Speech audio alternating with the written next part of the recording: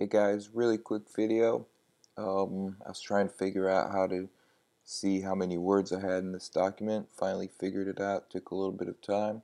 But you know, essays usually your teacher will tell you, well, you need 1,000 words or 2,000 or 500, etc.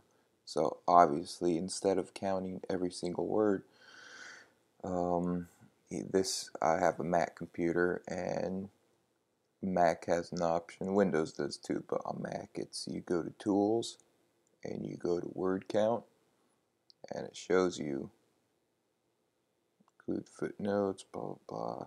This is incorrect because obviously I have more words than that. Let's see one more time, word count. There you go.